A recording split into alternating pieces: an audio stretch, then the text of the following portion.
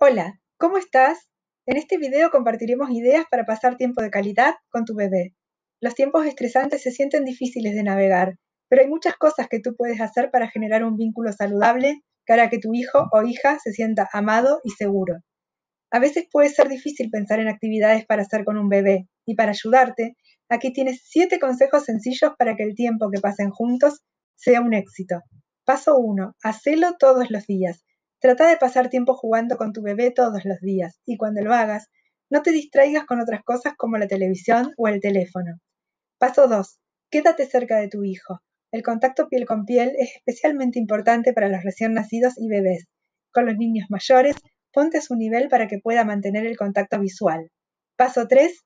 Deja que tu bebé tome la iniciativa. Dale tiempo para explorar las cosas a su manera y a su propio ritmo. Sé paciente y tranquilizadora, ya que el mundo es nuevo para tu hijo. Paso 4. Obsérvalo. Presta atención a qué le interesa o qué mira. Observa sus sonidos, palabras y expresiones faciales e intenta copiarlas. Paso 5. Pasa tiempo jugando con tu bebé. Ayuda a tu hijo a explorar el mundo a través de sus cinco sentidos, haciendo ruidos, introduciendo nuevas texturas y sabores. Paso 6. Habla con tu bebé. Empieza a hablar con tu bebé desde el momento que nace. Describe lo que sucede a su alrededor, desde el clima hasta los colores que miran y las tareas del hogar que estás haciendo.